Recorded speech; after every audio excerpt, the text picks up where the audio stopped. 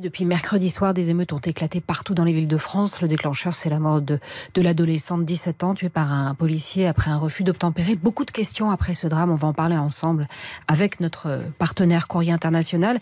Mais la nuit dernière, 875 interpellations à travers l'Hexagone, 500 bâtiments incendiés, ça c'est des chiffres RTL, 2000 voitures incendiées, des unités d'intervention d'élite comme le RAID, le GIGN, la BRI ont été déployées dans plusieurs villes du territoire de nombreuses échauffourées et des scènes de pillage de magasins. Du jamais vu, Juan Rosé Dorado?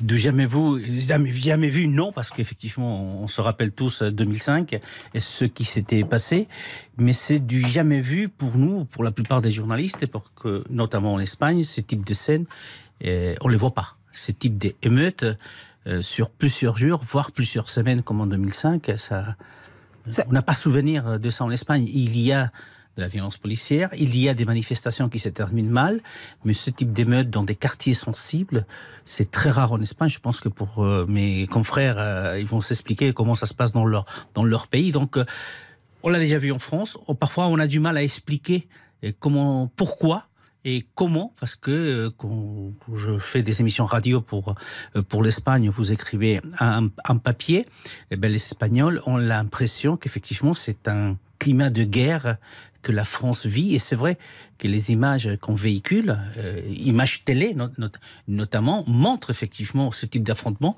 auquel on n'est pas du tout habitué. Donc, euh, étant en France, oui, on connaît déjà ça, malheureusement, et on a du mal à, l'expliquer euh, aux Espagnols.